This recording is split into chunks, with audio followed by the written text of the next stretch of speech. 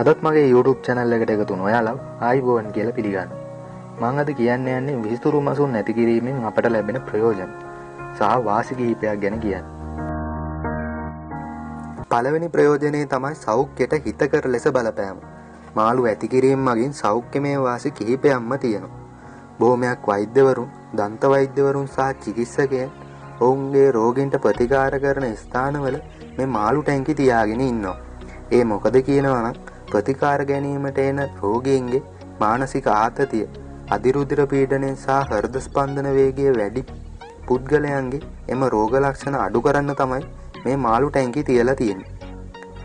සාමාන්‍යයෙන් මාළු ටැංකිය අධ්‍යා විනාඩි කිහිපයක් බලාගෙන සිටීමෙන් මනස සංසුන් භාවයට පත් කරනවා.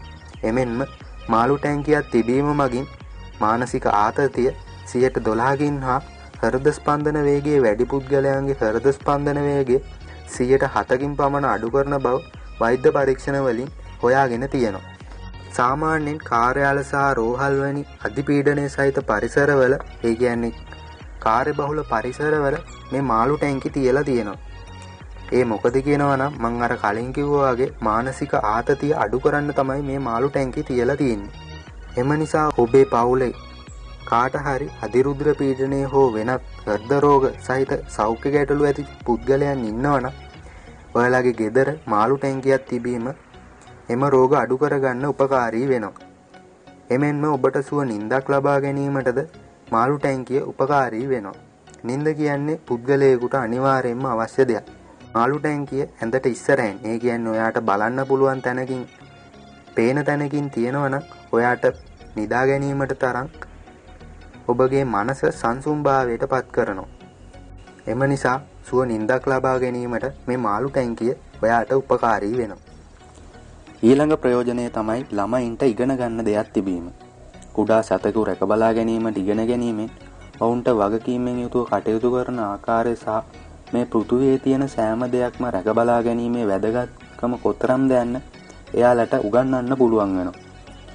වෙනස් සතෙකු ඇති කරනවා වගේ නෙමි මාළුන්ට කෑමදීම සහ ඔවුන් රැකබලා ගැනීම සහ මාළු ටැංකිය නඩත්තු කිරීම තුළින් වටිනා කුසලතා ඉගෙන ගන්න පුළුවන් වෙනවා.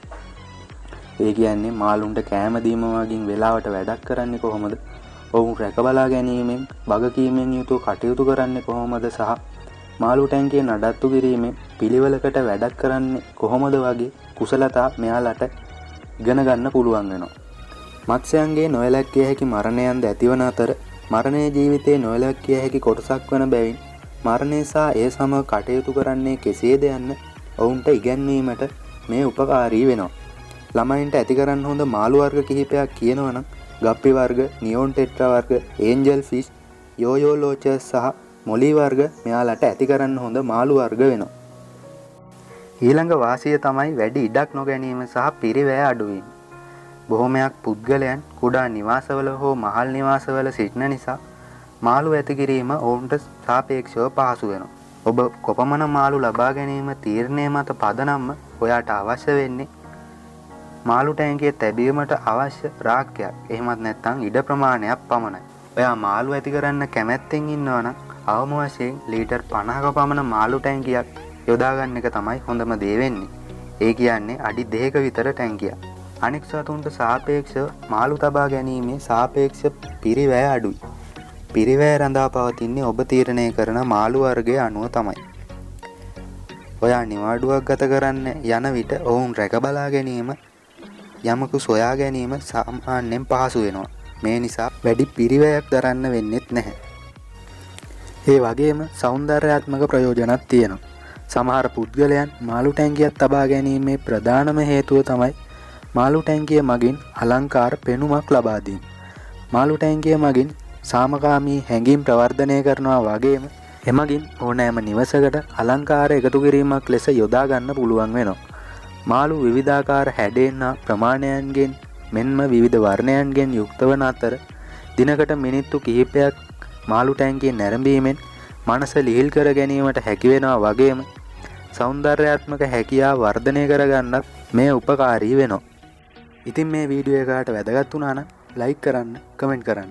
මේ වීඩියෝ එක ඔයාගේ යාලුවන්ටත් වැදගත්තේ කියලා හිතනවන ෂයා කරන්න. තමත් මගේ YouTube චෑනල එක සප්‍රයිප් කල නැත්තම් දැන්න පල්ල ඇතින් රතුකාට සප්‍රයිප් බට්න එකත් ලික් කරන්න.